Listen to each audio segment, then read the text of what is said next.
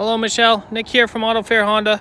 Just want to get you a quick video on the EXL CRV. Looks like, excuse me, we sent you a video on the Touring.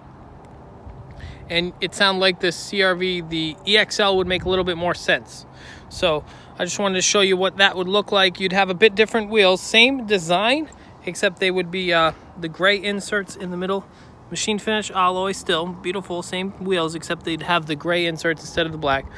A lot of the same functionality uh, the roof rails is one thing you'd get with the touring you don't get on the exl uh, navigation still have a lot of the same storage spaces you still get the power tailgate.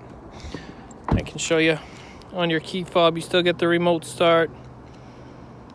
And then if we hold down the power tailgate you still get that as well the seats still go down in the 60-40 split. Okay, so everything's the same that way. Let's get a, I'm gonna get inside the cabin and kind of explain how the Apple CarPlay would work. I won't be able to demo that for you because I'm taking the video on my phone, of course, but um, I'll show you how that would kind of work. So how the Apple CarPlay works is you can see the little cell phone picture there. We would plug in with just a normal USB, plug it into our phone, and then we could get access to um, like hey siri okay google that would work in your car. You can voice text from your phone. You can also give like a long press here and then the car would come up with your cell phone and say you could say you know text joe.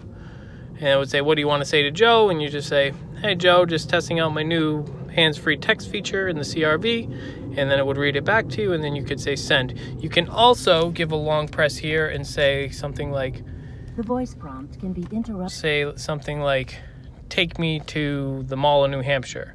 And then it will bring bring options up on the straight. One option for Mall of New Hampshire, you push OK. And then your navigation will display here from your phone onto here, connected USB cable to this one right here. Not sure if Pardon? you can see that. No command was heard. After the beep. Cancel. There we go. So I thought I was trying to use it, but I'm not connected clearly. Um, yeah, so you can also use voice prompts like lower fan speed, that kind of thing. But a long press on this will give you your phone. A short press gives you access to the car functionality that way. You still have all your Honda sensing features here, hands-free for your cell phone as I went over. Uh, you still have the nice display with all the options that way. Okay, EXL, you still have the two memory zone for the seats. Uh, so very similar, but um, if you, I'd love the opportunity to have you come down so I can demo all these features for you, Michelle. Um, it sounds like we made an appointment for next week, so I look forward to seeing you. Okay, again, my name is Nick Lucier, and if you have any questions between now and then, just give us a call here at AutoFair Honda, 603-634-4700. Thank you, Michelle. Have a great day.